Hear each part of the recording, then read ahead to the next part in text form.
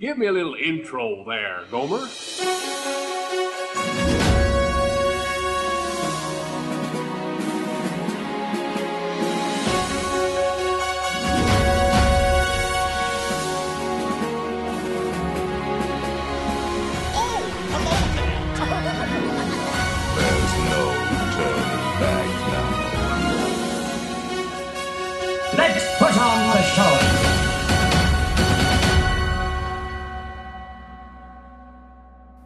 You're listening to the Station 71 podcast. My name is Mario, and this week I'm joined by my co hosts.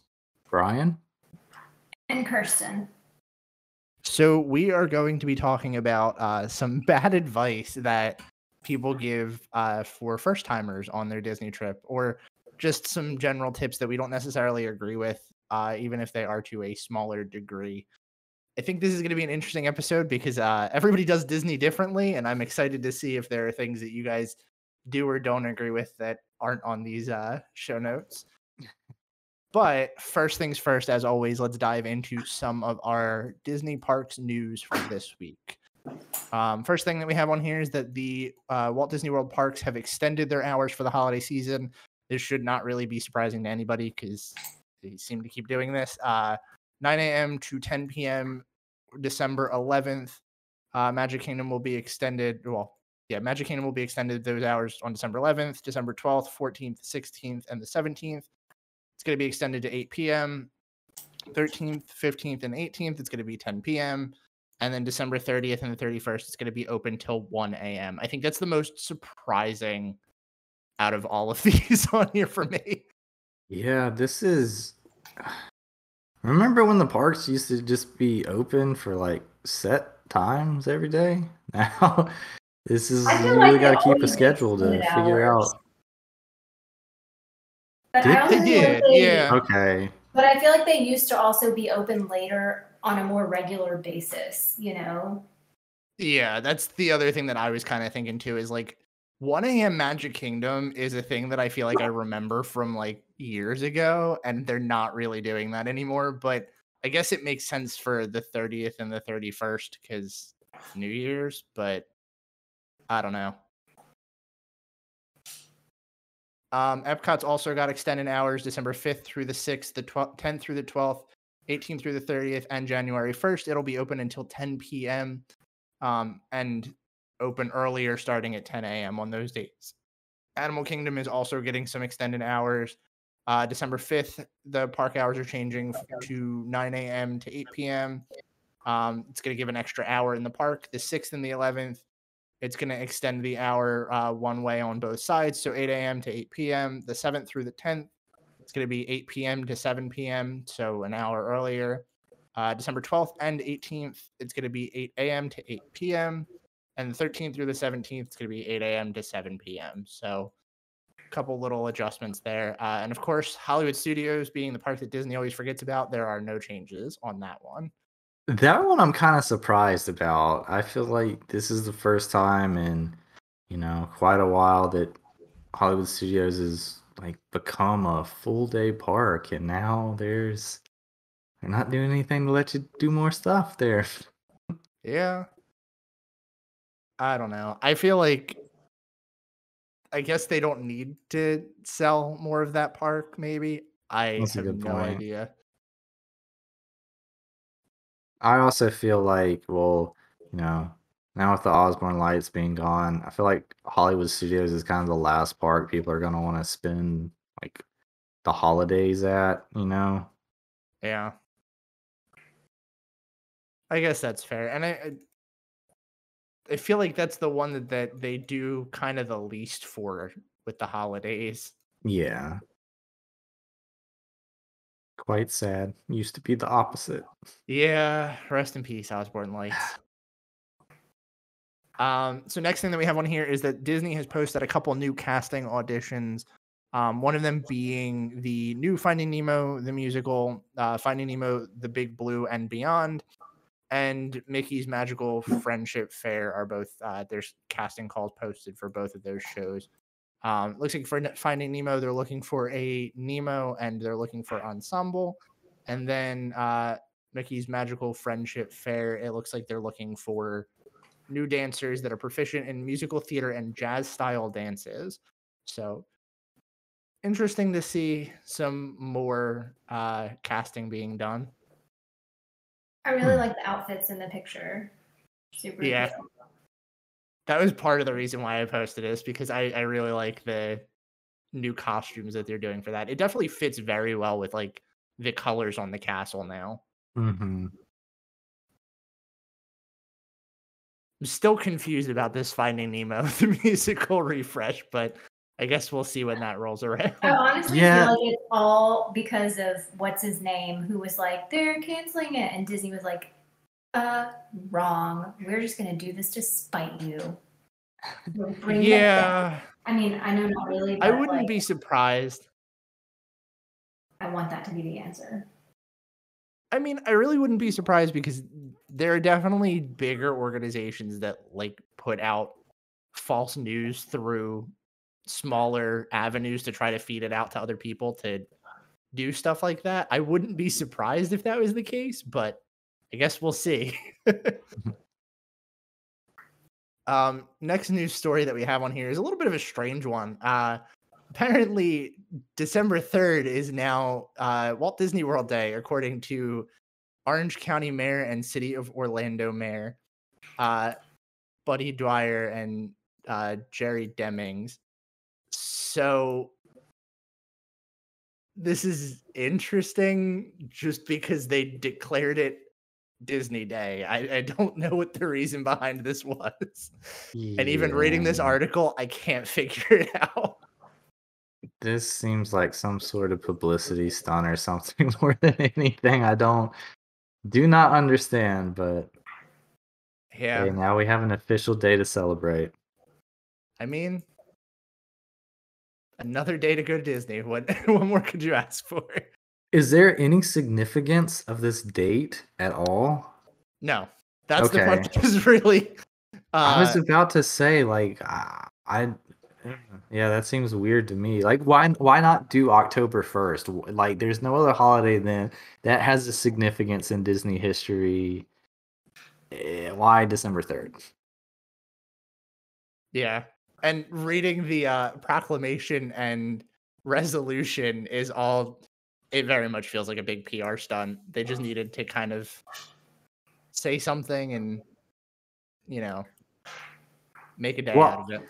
I even love like the first thing on the resolution is whereas since since grand opening on the first day of October 1971, and then it's like yeah, but forget about that date. We are going to pick another date. Yeah. But I think from what I was reading on it, it kind of just seems like they were picking a day to kind of honor the parks and what they do for the Orlando tourism industry, which You mean fair, for the entire Orlando economy? yeah, pretty much. Uh, so the last bit of news that we have on here is that Susan Arnold has uh, been chosen to replace Bob Iger as chairman of the board for the Walt Disney Company. Um, I guess this is coming after Bob Iger had announced that he's going to be finally departing the company after years of saying it. Um, from what I've been reading, she's basically been already doing this job anyway. She's the first Ah. female chairman of the board, as far Is as I know. I'm pretty Wow. sure, which is uh, pretty cool. Well, Yeah, that sad is it's really not cool. Yet. Cool that it's finally happening. Do we like her? Do we not like her? Do we know anything about her? I don't think we know anything about her. And honestly, I kind of like I wanted to bring this up specifically because I know we've talked a lot about Bob Iger and just like joked about disliking him, although Kirsten may actually dislike him for all I know. um, but I feel like as we start to see these people that like I don't necessarily know their names, I started to realize more that like obviously this is like the decisions that I disagree with are group decisions and it's not necessarily one person that I should be hating. I don't know. I'm we just all- no, we need a scapegoat. Yeah, we need exactly. someone to yell at. So I mean, it's easy to kind of blame Chapek for that one, right? Like we can we can still do now that. it is. yeah, Now I regret everything I ever said about Bob Iger. Miss me now. right? Uh, I one of the things that I like I, I think about uh, relatively often is like you know a lot of people look back on the Iger era of or not Iger era Eisner era of Disney and like think fondly of it just because it was so bizarre and like out there and weird and I wonder what people will think back on like with Bob Iger is there like a specific thing besides all of the integration of IP that they'll really remember him for I mean, that is the big thing. But you know, it, you look back at Eisner, and it's like, ah, yeah, okay, the dude was just kind of a goober, making a lot of kind of off the wall decisions, you know. It, it- but I don't know. I feel like, especially with Iger, you really, really felt Disney kind of step into that those big corporation shoes, and you saw a lot more of the, you know, the the corporate decision making side of things, where I don't know, like I felt like that was at least still kind of behind the curtains in a lot of the previous administrations. Yeah, I think Yeah. they at least tried to hide it. Yeah. Yeah, that's definitely fair. So, uh, all of that said, all of the news out of the way, are you guys ready to talk about some bad advice? Yeah. so, I think this is going to be a good topic to kind of discuss and maybe just uh, give our thoughts on things that either we overhear a lot in the parks or things that people recommend online that we don't necessarily agree with. And obviously, all of this is subjective. Um, you know, I may not agree with something that you guys might agree with.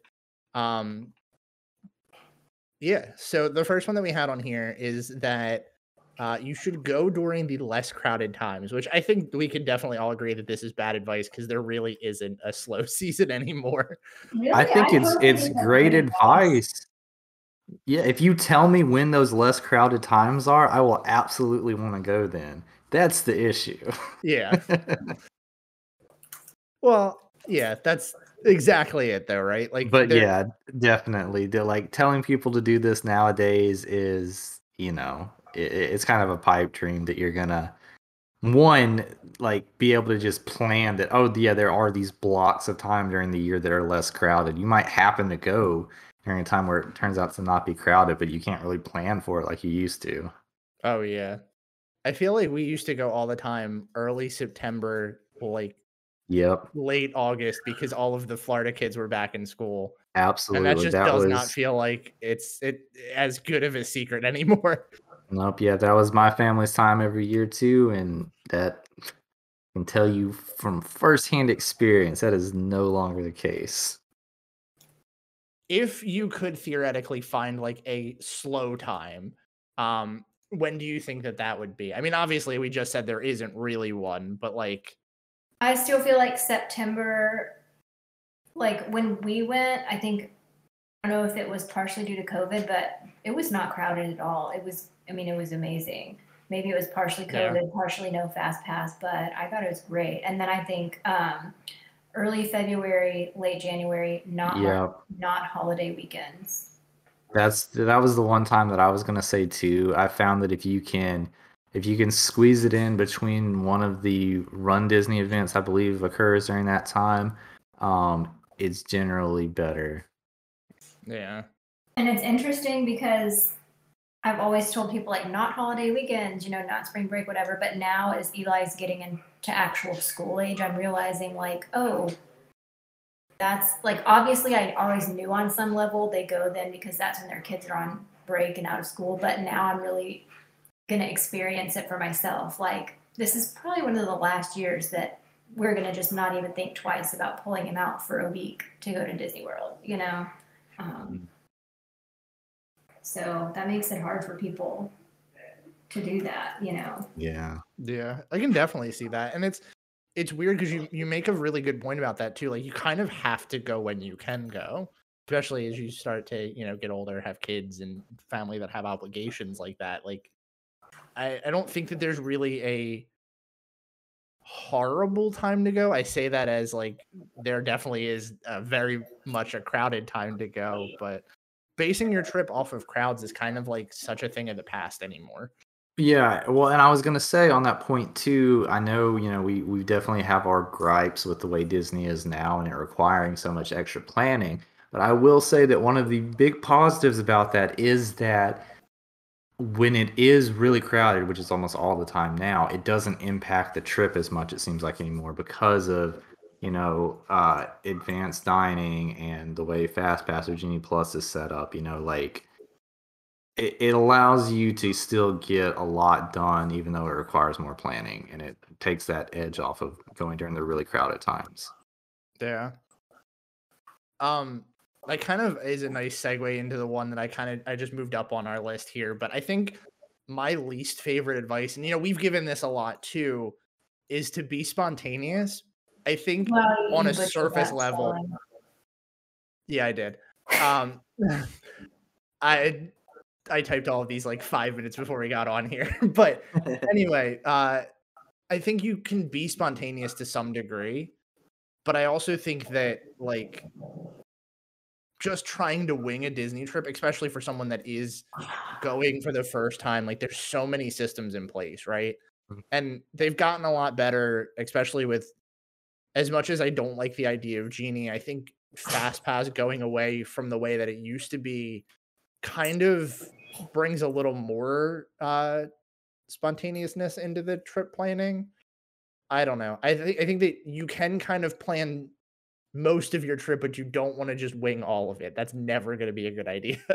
yes i i will agree with that you know and um i i have been a big proponent for years of being more spontaneous on trips but i completely agree with that that it is kind of reached a tipping point now where you gotta put a little bit of legwork in beforehand I mean, it's just impossible not to. And like that's why one advice one piece of advice that I kind of I don't necessarily see it written like all over the place, but is like use a travel agent. That nothing bothers me more than like the people who just have like never been to Disney or they've been like one time and they do the whole travel agent like online learning and then they're like, "Let me book your trip to Disney." And it's like, "No, I went to high school with you. You also sell like Monat on the side. Like you don't know what you're talking about.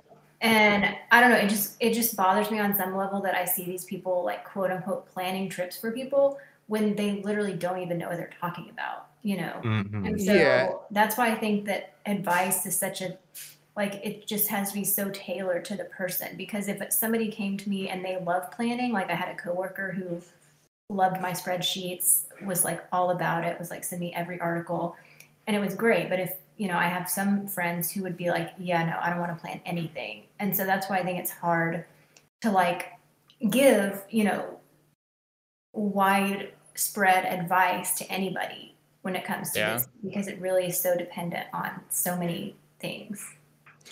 and I also think that that's kind of uh, it's a good springboard for something that's not on this list. But if you are choosing to use a travel agent, I feel like Disney is the one place that you really have to vet that travel agent. Like right you have to look into the travel agent almost as much as you would your Disney trip because there's so many um not necessarily legitimate travel agencies out there. Yeah.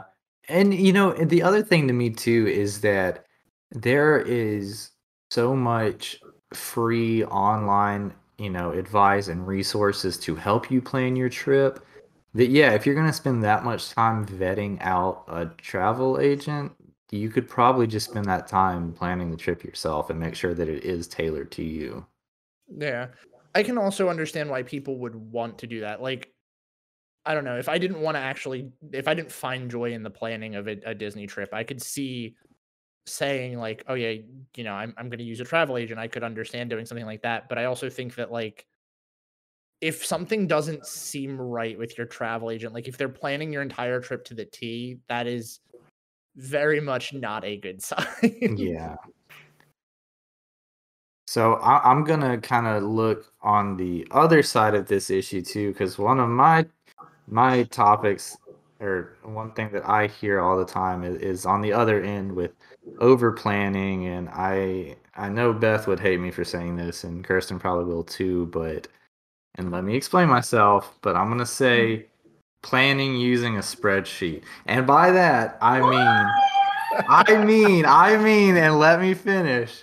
I remember all the time on the boards and subreddit, people posting a a spreadsheet that literally every cell was a 15 minute block of the day Oh yeah. and saying, "Judge my itinerary." Like if you open up a, a, a spreadsheet and the cells are laid out so nice that yeah, you can just make each one of those a short amount of time and fill it out. If you plan to that level, if you are carrying around a, a spreadsheet printout to to see where you're supposed to be in 15 minute intervals throughout the day, you're going to be miserable in the parks.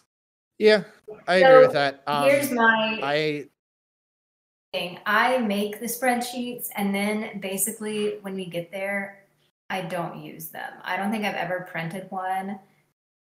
And like I feel like I'm relatively spontaneous about changing things, but for me, that's the only way like I make this I make a dining spreadsheet to do the cost analysis.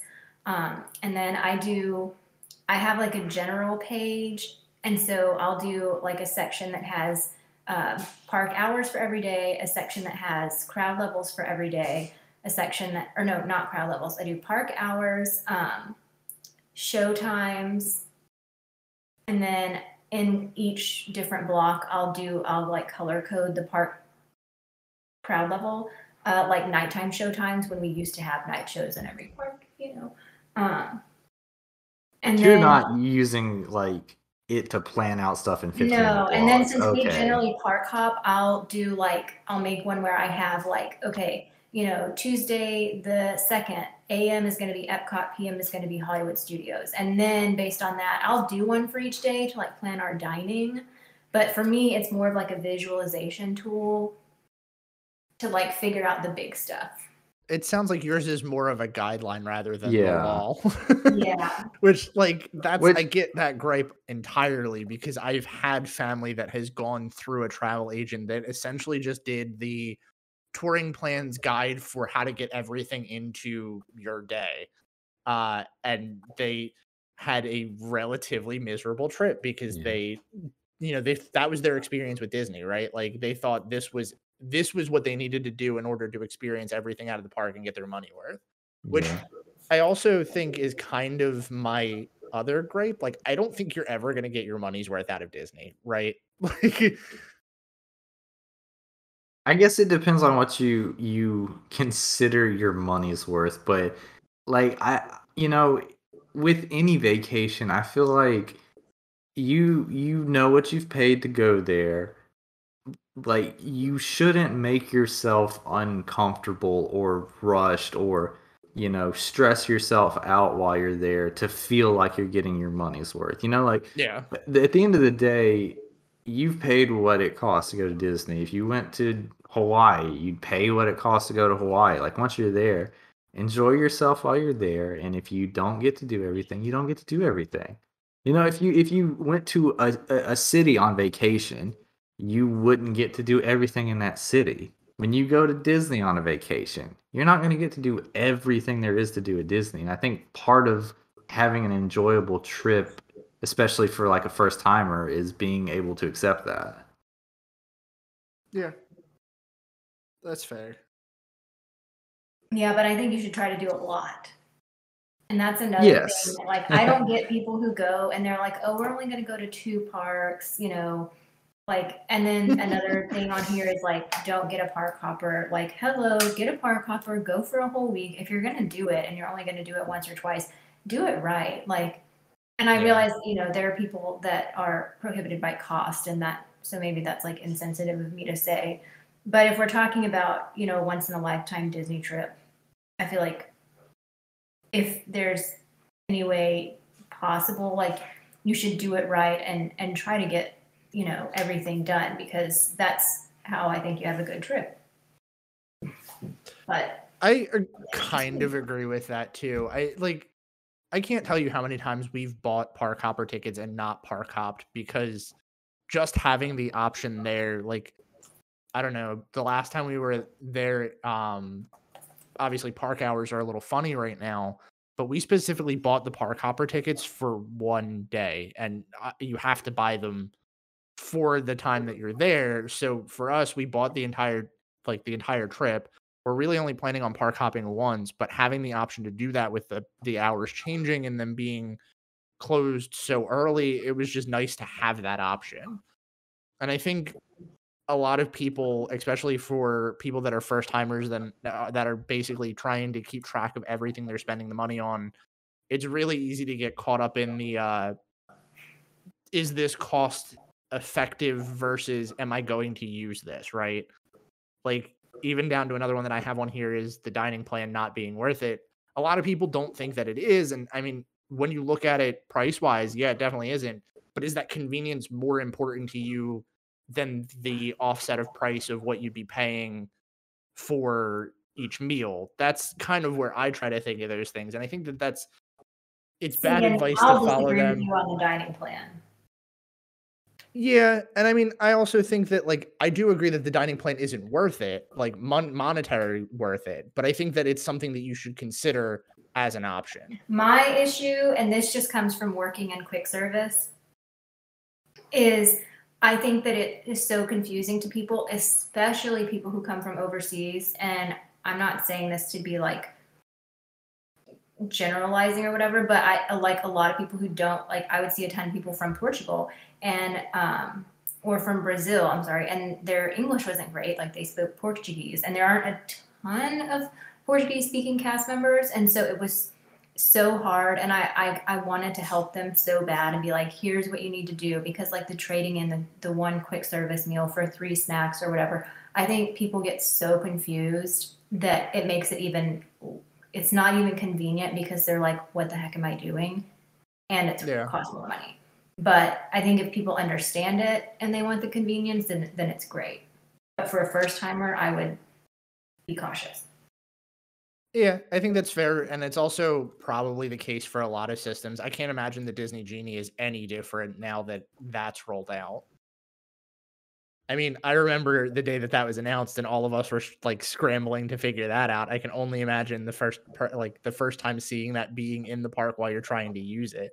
Yeah, I, I still don't really have a good grasp of it to be honest.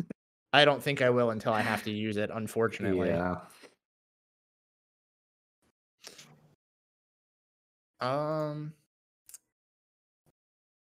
Oh So. God. here's one that I have thrown on here that I'm kind of I'm again I'm jumping out of order. Uh I want to talk about people that think again kind of on the the line of getting your money's worth that you need to stay from open to close to get the most out of your trip. Um how do you guys feel about that? Cuz I feel like this is also a very like divisive topic. I think if your I think kids are old depends. enough, then it's a great idea and you should definitely do it. But don't make your four year old or three year old miserable screaming at them like, we paid for this. Um, yeah.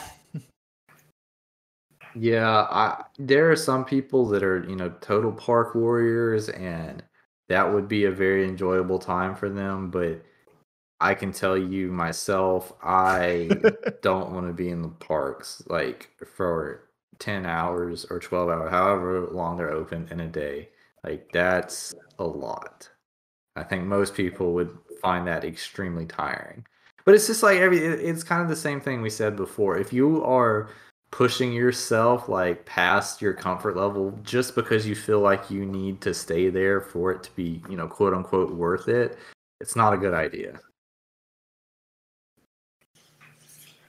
I agree. I that's pretty much where I land with this. I think I have severely underestimated the uh, importance of an afternoon nap when you go to Walt Disney World.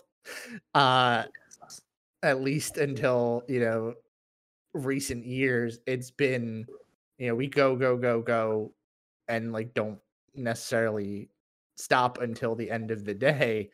Uh, now that we've discovered that midday naps are a fantastic thing, it's become part of our Disney routine, and I do not see that going away anytime soon. I would also say that like you probably should pace yourself, especially if you're not from an area that gets as incredibly warm as Florida does. Uh, for us, Florida in the summer is not ideal. So when we go in August, it's definitely a must to uh, swing by the resort and either go to the pool or you know crash at the room for a little bit. Um, yes, and one of the biggest things too that uh, you know, especially first time people, you know, might not realize is yeah, you go hard, you might feel fine that first day, and then be miserable your second day in the park, you know, right after because you pushed yourself so hard on the first day, and it's so easy to get burnt out. Yeah, I, I think Disney burnout is a very real thing. Yes. Y'all are just weak. We are look, we're we're getting older, all right, and there is nothing wrong with slowing the pace down a little bit. Oh my god, you're already like with the dad opinions. Yep, you know, I'm two weeks into this, and I have settled into my new life. Uh, so the last one that I have on here uh, for just bad Disney tips, uh, at least off of our show notes, is that Animal Kingdom is a half day park, and I guess to some degree, Hollywood Studios as well. I think Hollywood Studios is probably the one that's closer to a half day park, but Animal Kingdom is by no means a half day park. Certainly not. Yeah, I um my coworker, actually the one who loved my spreadsheets, she just took her kids over Thanksgiving and she had been trying to go to Hollywood Studios, but she couldn't get in. It was like already full. And so she's like, Where should I take them? She's like, I went to Animal Kingdom in like 2008. I didn't really like it, blah, blah, blah. Should I go to Epcot or Animal Kingdom? I'm like, honestly, like, you should go to Animal Kingdom. I mean, it's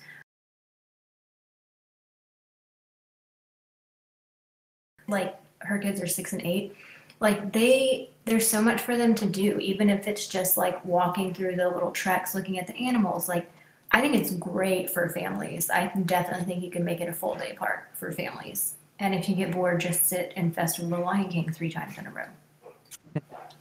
That's and and that's the thing. I think that Animal Kingdom has kind of retained this half day park reputation because when, if you look at it on paper, there are you know only a handful of of big ticket attractions to do. But like you said, Kirsten, walking around, viewing the exhibits, this is it's definitely a park to like go into and explore, and that's what really makes it the full day park instead of the half day. Yeah, and I think that that's kind of like it's such a weird thing you nailed it on paper. It's definitely not a full day park, but I think if you were to try to time everything out that you would do in Animal Kingdom, like obviously this is going back into the over planning thing, but if you were to time everything out, like you could feasibly squeeze out a whole day from open to close in Animal Kingdom very easily. Oh yeah, we were there. We left at two thirty or whatever, and there was still so much stuff that we didn't do this time. Like we didn't ride dinosaur or anything over there. Um, like we didn't go to Rafiki's Planet Watch. Like there was a bunch of stuff that we just didn't do. Normally, you know, Finding Nemo was closed, but we would have normally gone to see Finding Nemo. Um, and I forgot the whole point of my story that I just told was whenever my coworker got back after Thanksgiving, she was like, the boys loved Animal Kingdom. It was their favorite thing. They had a great day. They didn't want to leave. And I was like, told you so. Yeah. Anyway, I also think that uh, Animal Kingdom gets the bad reputation of it being just a zoo, and that is also bad advice because there is really so much to do in that park. Mm-hmm. do y'all like to tell people the not a zoo story? The not a zoo story. Uh, yeah, the. Hang on, I have to look it up. Y'all keep talking. I have to remember it. You know, the funny thing is, is that uh, yeah, I get that that Disney has very much leaned into that. It's not just a zoo, but it's a really good zoo. Like even if you don't go ride the attractions, uh, you know, I very much enjoy going to zoos in different cities when I can. That hasn't been very often, but like Animal Kingdom with just the exhibits is by far the best zoo that I've ever been to. So I think it's kind Okay, of here it is. the not a zoo story. The yeah, Zoo whenever it opened, um, they like a couple years after it opened, they had a commercial and it said like Disney's Animal Kingdom. It's a lot of things, but remember, it's and it was typed N A H T A Z U. It's not a zoo. And so it was spelled like, and the voiceover had like an African kind of accent. Um, because like they wanted people to know like it's not a zoo. And so they made up a whole word that was like, it's not a zoo. That's what they called it. I've never that? actually heard that, but that's pretty you can great. look up the commercial on YouTube. That's that's actually pretty great. I like I don't know. I like that as advice too. Like that you need to kind of go into Animal Kingdom with a more open mind than it being just a handful of rides and animal exhibits. And I think people also kind of take that for granted, right? Like how often do you actually go to an amusement park where or a theme park where there's animals in, you know, exhibits where it is kind of that crossover. And I think the fact that Disney has that unique um little park is just something that people should pay more attention to if they're going there. Yeah. You know, one of my favorite things that I did last time I was at Animal Kingdom was we were over at Rafiki's Planet Watch, and I didn't even know they did this, but um, that little stage that they have set up over near the petting zoo is occasionally they'll have like a cast member come out and just like have an animal that comes out that they give you information on and like it walks around. And there was this like South American porcupine mm-hmm. that would not listen to any of the commands and it was hilarious and it was fun and like I was like wow we just kind of stumbled into this and it's you know and that's kind of what I, what, what I was meaning by earlier like that's not going to be on the attractions list but there's so much stuff like that to do throughout the park that if you if you just look at the big ticket attractions I think that's all there is to do you're going to miss out on a ton of stuff Yeah, that's. I could not tell you the last time I went over to Rafiki's Planet Watch, and that's honestly probably a really big fault of my recent Disney trips. But even that section is just like there's there's so many cool little things that they do that you can't find at a regular zoo. So, any other bad advice that you guys have or can think of that you've overheard people say to other people at the parks, or things that you know you want to express are potentially bad ideas for newcomers? Ooh, I have one. Um, and I hate saying this because it's how we all met, but using the Walt Disney World subreddit to help plan a trip, that place has Oh. turned into an absolute cesspool of negativity. And anybody that is uh maybe new to the Disney community or trying to plan a first trip, I would suggest just staying the hell away from there because nothing good is going to come out of that. Uh, fun fact: If you want a Disney planning subreddit, our Disney planning is actually significantly better than our Walt Disney World for that. I need to check that out. Yeah, because oh boy, oh boy, it is it is not good over in the WDW subreddit. Yeah, that's that's kind of funny. I think using um like message boards or honestly even Facebook groups have kind of a little bit of a bad rep nowadays, but I think like looking for advice in them, you can find some good like places to start, but don't use that as your Mhm. end all be all. That's a good point. And even whoever's listening to us, you know, like any online podcast, Facebook group tip that you get, take it with a grain of salt, look at other people's opinions too, and, you know, get a more well rounded, you know, bits of opinion before you decide to do something. Because nobody's got all the information. Nobody's got all of the the correct way to do anything uh, you know, vet out every opinion you hear a little bit first, even ours. Yeah, but we're right all the time, right? oh yeah, yeah, yeah, yeah. I think we have a good mix of opinions. Like we have a local, almost, you know, uh, a person who goes on a regular basis. Like Beth goes at least quarterly, probably. You know, Mario is far away, doesn't have kids. Um, I'm far away, do have a kid. I don't know. I think we have a good mix of like opinions. Um, Yeah, I think so. Now that Eli stopped screaming, here's some tips that I don't like. Um, I see people Speaking talk about kids. pin trading a lot and i think like for adults if you want to do pin trading or whatever like that's cool but if i was like talking to a family who hadn't been they're only going to go one or two times i would be like stay the heck away hang on okay pin trading i think for somebody new like if you're only going to go once or twice and you have kids i would tell them stay far far away from that because that's just going to be a money suck if you're not going to become like an actual collector and that's just a good way to have your kid griping that they want everything and they want to stop every single time they see a cast member. Like, no, thank you.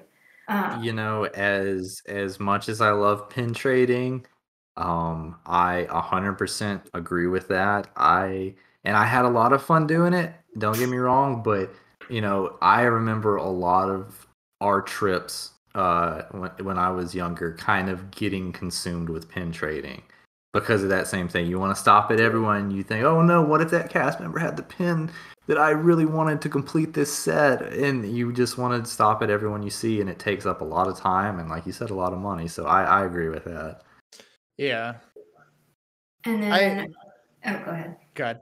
I, I was just gonna say, as someone that also did pin trading, I think it's it's great for something new with Disney. Like it's um I like pin trading specifically for the interactions that you get with the cast members, right? Like I'm Mhm. not much of a pin collector as as much as I am I want to talk to the cast members and that's a good that's a good springboard for that. Um but I also think that it's like you said very easy to get wrapped up in that and it's very easy to kind of uh let that consume most of your time. Yes, I will say advice to anybody that wants to get into pin trading so that you don't get overly consumed. One of the best things to do and ways to save money is to buy some of the the pin sets and use those for trading. And it's a good way to kind of set limits on the trip to say, okay, I'm going to buy maybe, you know, two of the pin sets and once I've traded all of those, I'm going to stop because it's very easy to just keep going. Well, I've almost got this set, so let me go buy another pin so that I can try to trade it off for one to complete the set. It will consume you, so try to cannot set limits. how many times I've bought that uh it's the skull and crossbones set that they used to have. It's like six pins. and if you do the math, it's the cheapest one out of all of them Yep. because it works out like that you get le- more pins for less money and you're never going to keep any of them. But I Right. bought so many of those over the years. hmm And then my uh, other tip that I see a lot is buy your souvenirs like before you get there off property or whatever. I just think, especially, and maybe this is just me being bougie. I don't know. Maybe I'm being rude, but whenever I see kids in the park and they have like those tiny, tiny little ears, you know, that clearly came from like Walmart or something, I'm just like, they're just not real Mickey ears. And Well, I just don't like them. And I just feel more like so uh, the, the the quality aspect of it isn't what gets me the point like i get that that you want to do that to save money but in my opinion like the souvenir is not really about having the thing it's about like having the memory attached to that thing so if you buy it beforehand it's like what what is what is that souvenir serving the purpose of yeah, exactly. it's not reminding you of a fun experience you had in the park. It's just reminding you of going to the store and buying that thing. Yeah. Yeah, and I like also um as somebody who now has a kid who's old enough and sees commercials sometimes like just because they got something from you in the morning or whatever before like you go to the park for the day, that's not going to make them happy and that doesn't mean they're not going to want more stuff when you get there. Mm-mm. So You walk a kid through the Emporium like and expect them to not want something that is, you know, yeah, I can see that for sure. yeah, exactly. Here comes the star of the show now to say goodnight. You don't have to hide your face, no we can see you. You gotta be quiet so he doesn't know we're here, so he'll talk. Love you. Good night. Good night. Do you love Disney World? Can you say that? No. No. You're just gonna be sad. I'm shy. Shy. Oh, you're gonna be shy. Okay. Bye-bye. Bye bye. Hey, um, why is my why are my balls so separated in different places? I don't know. Why do you want to hide my balls from me? Cause you like go to bed.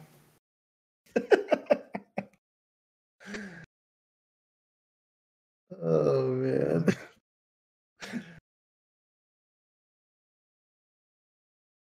So I'm guessing he's at that point where he realizes when you're like in there recording that we're on too. Yeah, I really think it's the video thing. I think he, the fact that he can't see anybody is what freaks him out, and that's why he gets shot. I guess that would be kind of weird. Well, kids this age, like th- t- kids these days, like just wait with Olive because you have family that doesn't live like right in the same city. They're gonna FaceTime, and that's what they understand. Like just talking on the phone, he's like, "No, I want to see. I want the video." Like But yeah, they're just that's what they're used to. makes sense. Hmm. So anyway, that's all I have. Uh, I do like that one about not buying your your souvenirs before you get there because I don't know. I feel like the thought of that is that Disney is so expensive that you want to try to save money wherever you can, but like I feel like that's going to end up being more expensive because you pointed it out perfectly, Brian. Kids are going to want things that they see in the parks, and either Mhm. you're going to deal with a meltdown or you're going to deal with, you know, you're going to buy them that toy.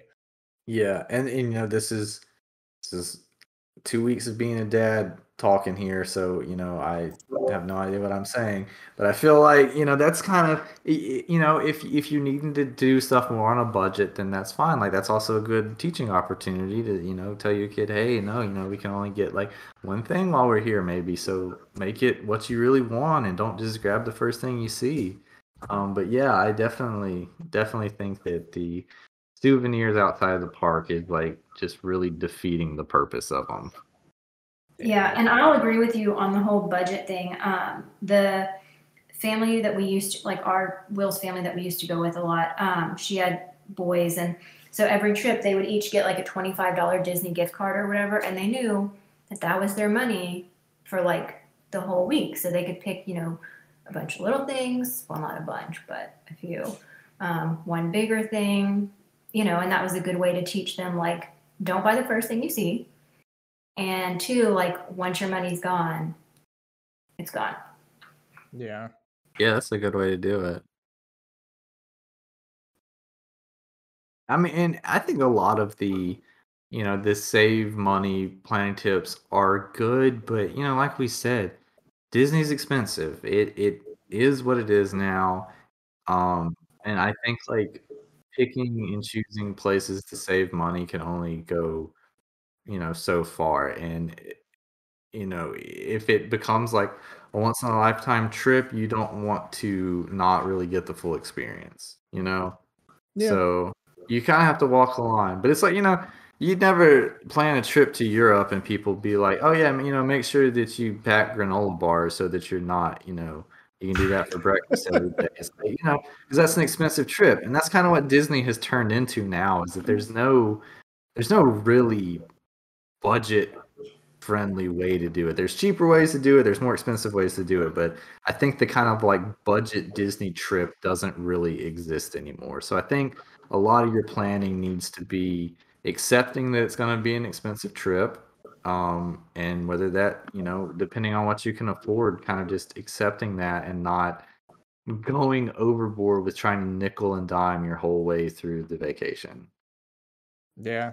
I think you'll have a better time for it. Obviously, money can be a stressful factor, especially if this is your big vacation and everything. But I think kind of trying to let that go a little bit and not worry is probably a, a- for the better. I think Disney's an easy place to kind of forget about everything else that's going on. So Mhm. that's and my- yeah and not to say like don't set a budget or anything like that. Like that's very important. But you I know, know, I would max out your credit cards. you know, but you know, like I would always recommend somebody like if if you are gonna do it and you're really having to cut costs, and if you can push that back six months to a year to save up more money and really get a better experience out of it, I would highly recommend that over trying to, you know, go super crazy budget on a trip because it's really not a good way to do that anymore. yeah. Yeah. And for us, because I think it's now especially so easy to just now that you can attach your credit card to your magic band, just like spin, spin, spin, spin, spin, um, and not have any idea what you're actually spending. So this this past trip, we actually took out our like souvenir slash food, whatever money we took it out in cash and either bought everything with cash or else I wanted like the special 50th gift cards. So I bought like four $200 gift cards or whatever um, and did it that way so that I wasn't just putting everything on my magic band and then I got home and had like, you know, a million dollar credit card bill That's smart. because that's what So- usually happens. So we've given bad advice and also kind of corrected the bad advice. But if you had good advice for a first time trip planner, just one piece of good advice, what do you think you would give them? If you could only give them one. Oh my God. I, I you know so much that we talked about today is is you know we went back and forth because I think it depends on the person a lot and how you're planning to do the trip. But one one very cliche piece of advice that I think has held true over the decades of Disney World is do not wear new shoes when you go to Disney. And I Yeah. think that that is a, an objective fact. Oh, wow, yeah. man, I wish I could have come up with something that good. Um, I don't know. Yeah, I think it really is so dependent on on who you are. But I would say, even if you're a like a spontaneous person, you don't want to plan anything. I would say at least do some research and figure out what kind of trip you want to have. You know, because Mm. th- there are many different ways. Obviously, like what we talked about earlier, there are so many ways you can do Disney. You can do it as a single person. You can do it as like a family reunion. You can do it as an old person. You can do it with, you know, your infant, like whatever. So I think you at least need to go into it with like, here's our goal. Even if Mhm. you're spontaneous and you don't want to know anything else besides that, I think you at least need to have like, here's, you know, what we want the trip to be. The end. Yeah. And I think my piece of advice that I kind of want to bounce off of Kirsten's is to just, as cliche as this sounds, try to enjoy your trip. Like, if it becomes, if it gets to a point where you're worrying about everything, if it comes to a point where, you know, that planning seems to be too intense, like maybe just take a step back. You're going on vacation and obviously you want to have fun, but it shouldn't be that your vacation becomes its own job. Yeah, that's Unless that's you want to be that way.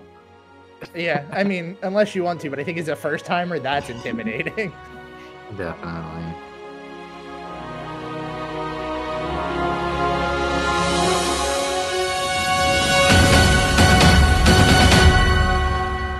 Stand clear of the doors. Por favor, manténganse alejado de las puertas.